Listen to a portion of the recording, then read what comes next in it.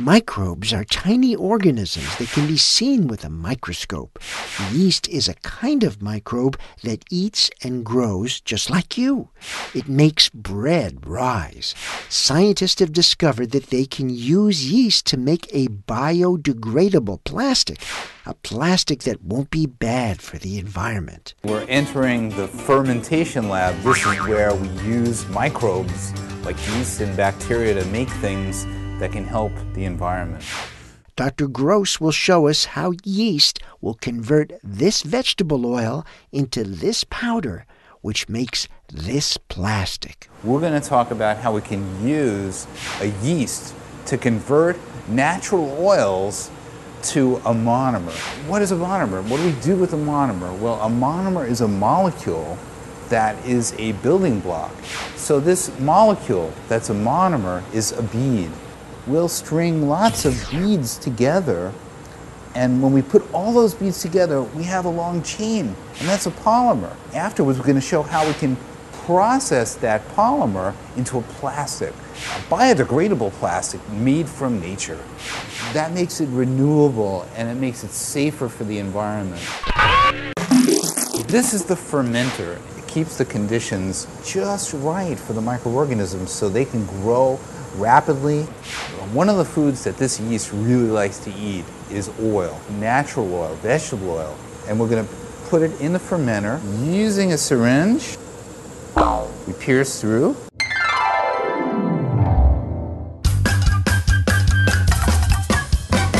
It's been 48 hours and the yeast have been working really hard.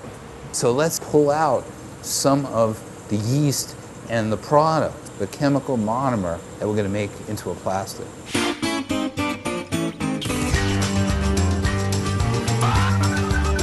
Look at that. The monomer is coming out from solution. This centrifuge is designed to spin really, really fast. Taking out the tube, what we have at the bottom of the tube is the chemical monomer.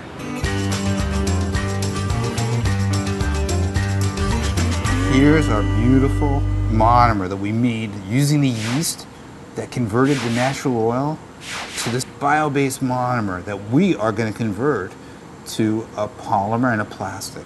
You know, kids, this wasn't easy. It took us four or five years of hard work in the lab to make this process work. Here's the monomer that we're going to make the plastic out of. The key thing we need to do is to heat this monomer up to about 200 degrees C. Now this is a special, really hot bath that we're going to use to heat this flask. So here we go, we're going to raise it up. Well, that solid is now melted and it's now a liquid. As you notice, it's changed a lot gets to be a really thick liquid. And when we cool it down, you're going to see that it turns into a solid. This is a biodegradable plastic, a bio-based plastic that we made from renewable resources instead of petroleum. It's not a powder anymore. This stuff is tough.